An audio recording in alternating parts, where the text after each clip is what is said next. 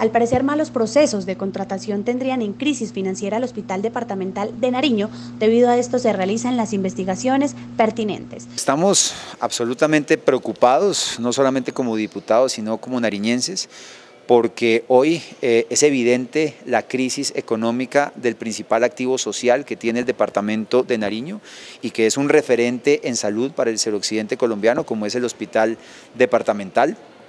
Eh, producto obviamente de una administración que no ha sido seria, de una administración que ha sido interina durante estos tres años ya casi y medio y, esto obviamente con la complacencia del gobierno departamental porque no podemos dejar de lado que el gobernador de Nariño es el presidente de la Junta Directiva.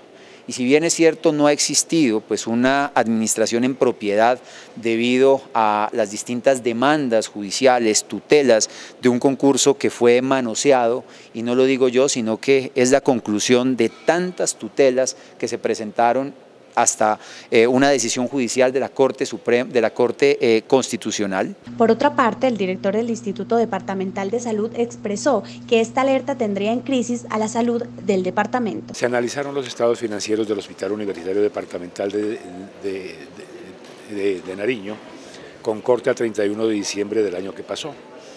Los estados financieros arrojan una pérdida de 8 mil millones de pesos.